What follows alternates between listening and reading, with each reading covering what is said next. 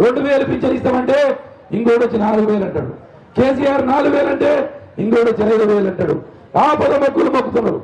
ఆపద మొక్కులు మొక్కి వాళ్ళకు అవసరాల కొరకు డబ్బల ఓట్లు వేయించుకోవడానికి అనేకమైనటువంటి ఆపద మొక్కులు మొక్కుతున్నారు. ఈ ఆపద మొక్కులు అంటే కాంగ్రెస్ వాళ్ళు చెప్తుంటే నాకు మాట గుర్తొస్తుంది. చెప్పమంటారా?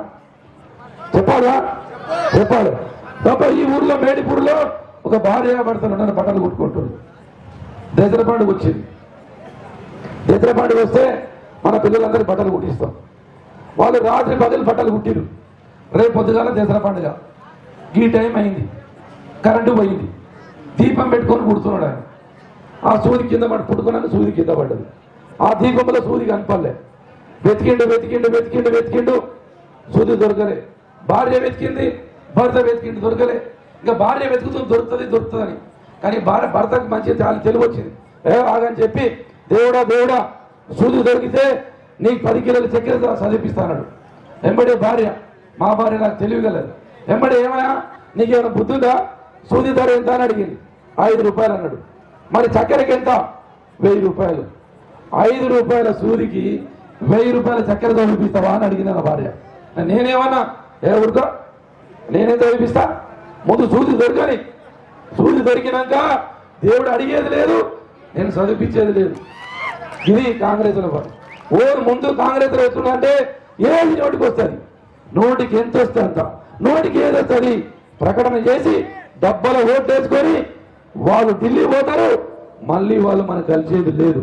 అందుకే ఎందుకు చెప్తున్నంటే ఇలా కాంగ్రెస్ వాళ్ళు మాట్లాడుతున్న మాటలు ఆపద మొక్కుల మాటలు. ఆపదల మొక్కులు మొక్కి ఇలా మమ్మల్ని మోసం చేయడానికి అనేకమైనటువంటి ఈ కాంగ్రెస్ ప్రభుత్వం కొత్తగా చూసింది కాదా? అరవై ఏళ్ళ కింద చూసినాం. ఇలా కొత్తగా ముఖాలు కాదు. కాంగ్రెస్ పార్టీ కొ- పాతదే చేతి గుర్తు పాతదే.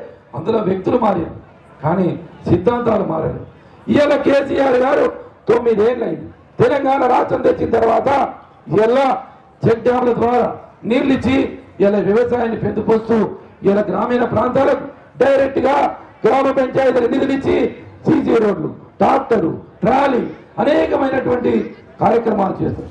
గతంలో ఊళ్ళో ఎవరైనా చనిపోతే ఆ లైన్ మీద ఫోన్ చేసేవాళ్ళం. అయ్యా మా ఊళ్ళో కానీ చనిపోయిండు ఆయనకు పొందబెట్టాలి ఓ గంట సేపు ఒక పది నిమిషాలు కరెంట్ మేము స్నానం చేయాలని అడుక్కునే వాళ్ళం ఇవాళ తొమ్మిదేళ్ళు అయింది ఎవరైనా లైన్ మీద ఫోన్ చేసి కరెంట్ గురించి మాట్లాడుతున్నామా? లేదు. ఇవాళ మా మహిళలు ఉన్నారు.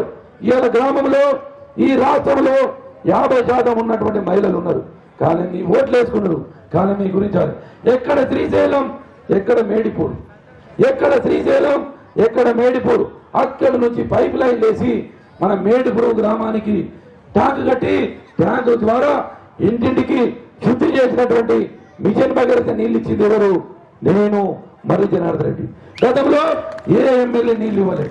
ఎండాకాలం వస్తే బిందెలు లైన్లో పెట్టేవాళ్ళం. ధర్నాలు చేసేవాళ్ళం. Yellow colour red colour green colour బిందెలు పెట్టి ఇగో నీళ్ళు కావాలని ధర్నాలు చేసినాం.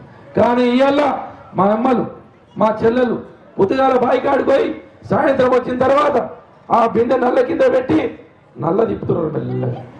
నల్ల తిప్పి ఏం చేస్తున్నారు? ఆ పొయ్యి మీద కుక్కర్ పెడుతున్నారు. మూడు విజిల్లు వస్తున్నాయి. అన్నం అవుతుంది. మీరేం చేస్తున్నారు?